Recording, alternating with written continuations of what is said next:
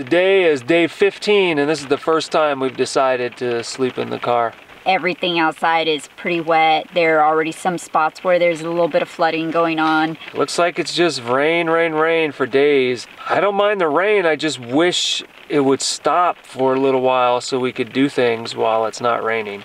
Yeah. So we'll see what happens.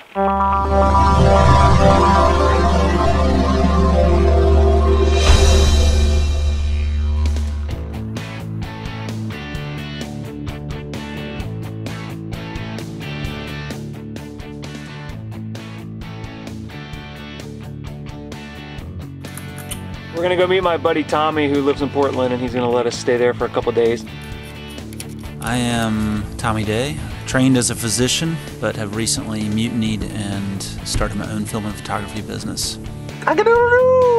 Yeah, so we're in Rooster Rock State Park and we just went down to the beach where a bunch of people are windsurfing and kite surfing. So I was practicing medicine for about 10 years and I hated it. I hated it. Felt like my soul was dying. One night I was laying in bed with Madeline and I said, I feel like this job is killing me. I feel like I should quit and pursue this other thing. And she said, do it.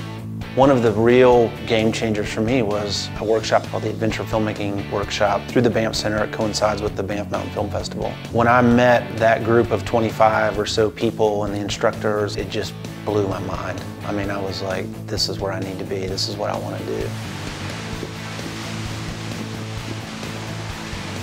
A year later, I decided I'd had such a good experience at the filmmaking workshop, why don't I go and do a wilderness photography workshop at the Banff Center? I met someone there who turned me on to one of his buddies who was a professional climbing photographer. And as soon as I met that guy, I was like, we should tell your story. So I spent the next year making a film about him. Submitted that to the Banff Mountain Film Festival and it was accepted.